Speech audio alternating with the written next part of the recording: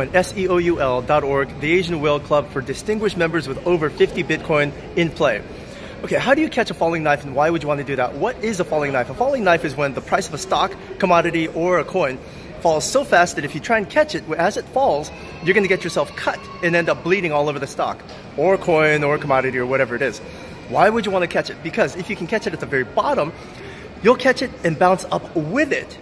When Bitcoin went from 47 to 42, 42 and a half, uh, $4,700 or $4,200.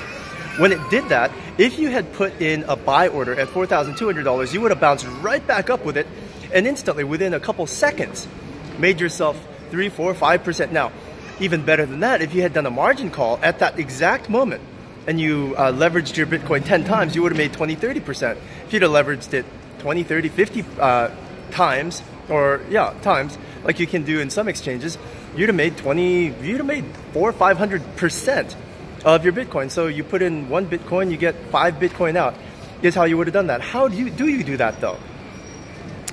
This is how you do it. I have a friend of mine who's a, um, a real estate flipper. He just goes around and um, goes to uh, what do you, uh, real estate auctions, and he'll tell me, "Yeah, I I bought three houses today. I bought uh, one apartment and two standalone houses." Okay, uh, do you buy three or four houses a day? No.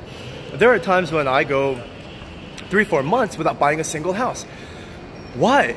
Wouldn't you want to regularly buy houses so that you can regularly flip it? it isn't regularity, uh, stability a good thing in finance? He says no. No. Why? Because what he's looking for, he's not looking for a house. He's not looking for a house to buy. He's not looking for a house to buy at an auction. He's looking for a house to buy at an auction that's way under market value.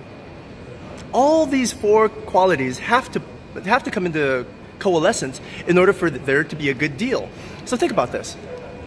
I put up a couple charts uh, for OMG, KMD, MTL, uh, uh, PAY, and a couple other coins that are really hot premium coins right now, and said, okay, put a low ball order in here between this blue line and between this blue line. Everybody says it'll never fall that far. When Bitcoin fell from $4,700 to $4,200, $4,300, what's underneath that red candle?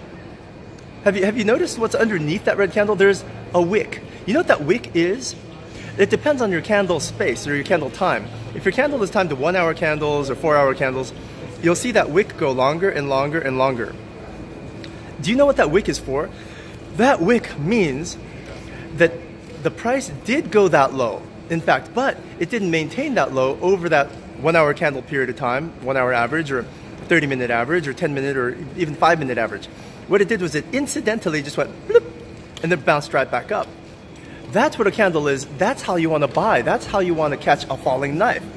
You want to place a, a bid that's so low, that's so low that if you catch it, the moment you catch it, you win big time. If you don't catch it, catch another one. It's like my buddy that doesn't have to buy a house or an apartment at an auction. You go there, and if there's nothing that's just outrageously underpriced, don't buy. Go to the next auction until you find one where everybody else is asleep and nobody else realizes how valuable this particular house or uh, whatever is apartment is and you know that you can do the repairs on it really quickly or you, you have a friend who's a contractor who owes you money and he's going to do all the repairs for you. Only when all the conditions apply do you buy. You don't have to buy. Remember, it's like um, uh, Warren Buffett.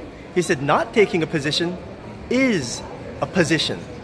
So just kind of sit in. This is why we recommend uh, during high volatility seasons, like right now, only put about 60 or 70% of your coins into play and keep most of it in Bitcoin because you can use the Bitcoin to get yourself admission into these real estate flipping auctions. And you can place